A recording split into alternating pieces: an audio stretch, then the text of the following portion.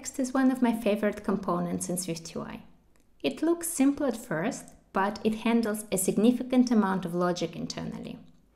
It has some really useful capabilities that are not immediately obvious, and one of my favorites is the ability to format values directly inside string interpolation.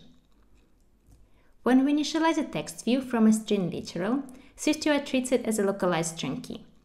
In addition to enabling automatic localization, localized string key supports interpolation of values and lets us provide an optional format parameter, which is intended for formatting dates, numbers, measurements, and other types of data directly inside the text view.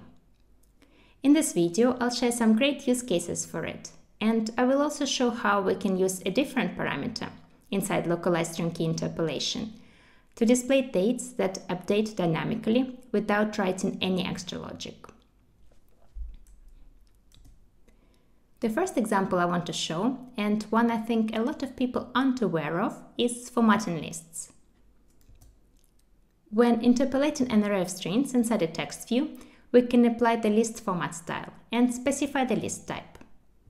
SwiftUI will turn the array into a grammatically correct list and automatically include a conjunction like and or or based on the list type we choose. The format, including the conjunction, will be adapted to the user's locale, so we don't need to add any extra logic to display list data in a natural way. Displaying measurements in line is another case where interpolation with format styles is especially useful. Instead of converting units ourselves or building strings manually, we can just interpolate a measurement value and use the measurement format.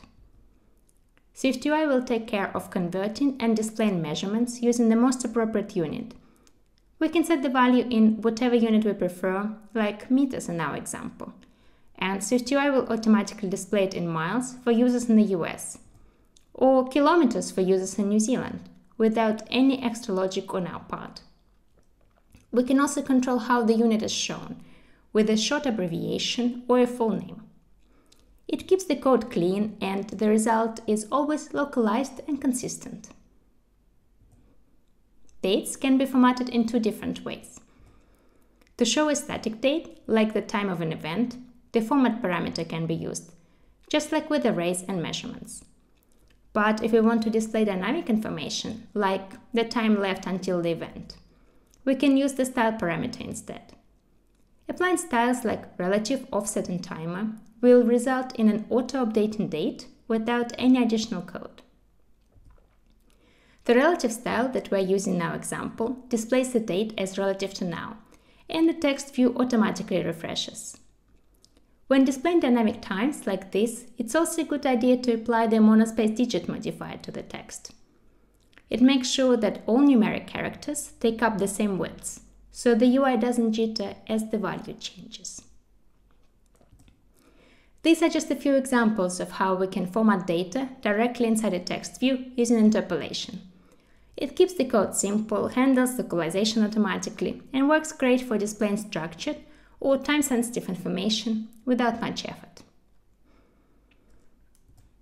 If you're interested in learning more about how text and other core components work in SwiftUI and how to use the framework effectively in your projects, check out my book, SwiftUI Fundamentals.